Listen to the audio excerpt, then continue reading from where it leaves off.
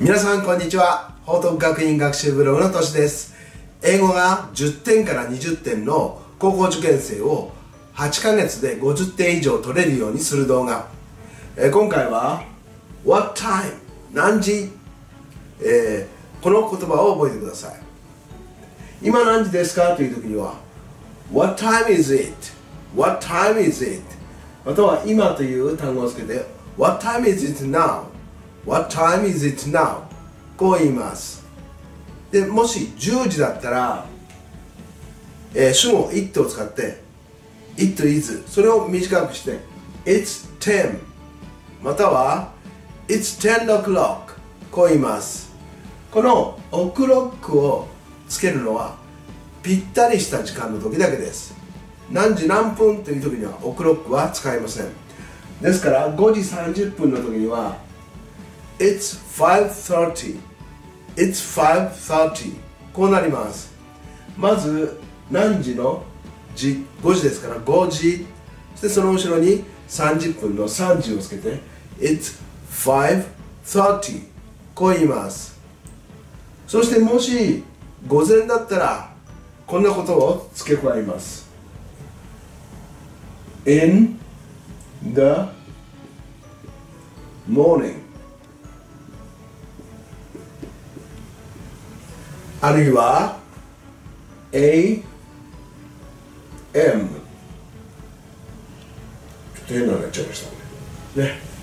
午前だったら in the morning または AM これえ午前中だったら It's 10 in the morning あるいは It's 10 AM こういうんですね。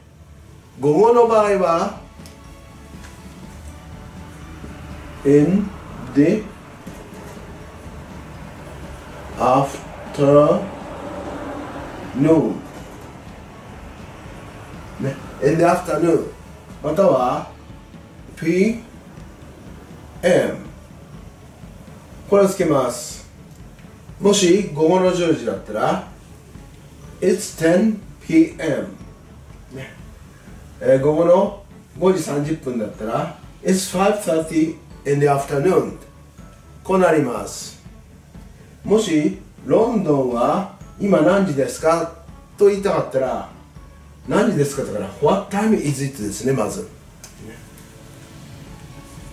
What time is it? その後ろにロンドンではという。In London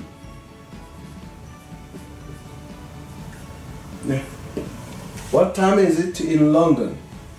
で答えが午後3時ですだったら It's 3 p m. ね It's 3 p.m. このように言うわけです。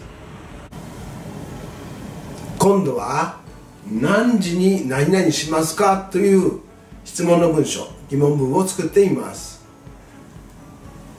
You get up at 6 You get up at 6あなたは6時に起きます。こういう英文ですよね。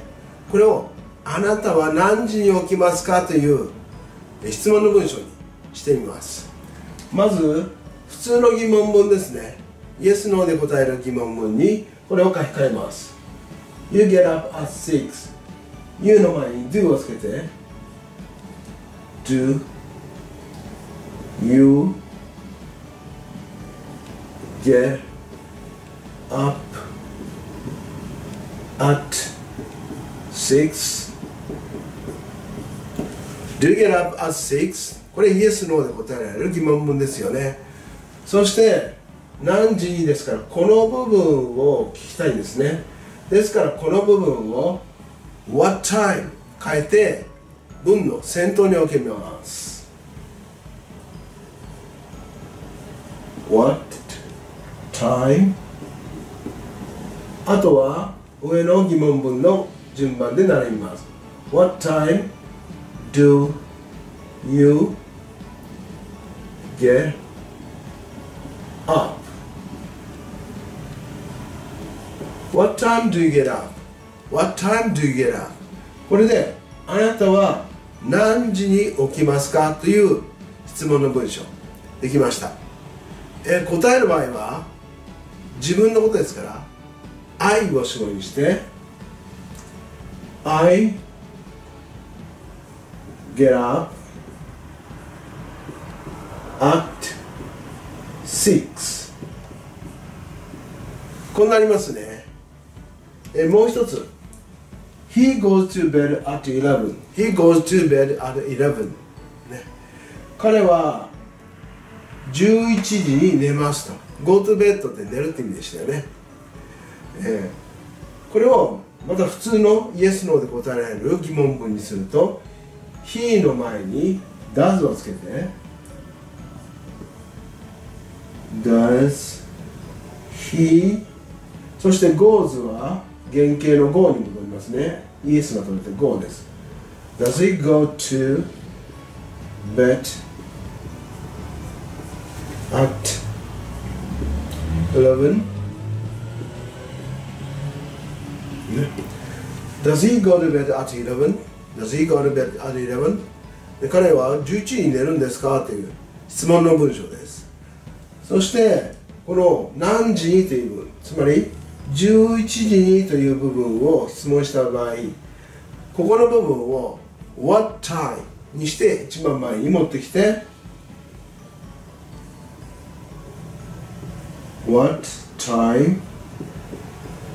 あとはこの順番です Does he go to bed?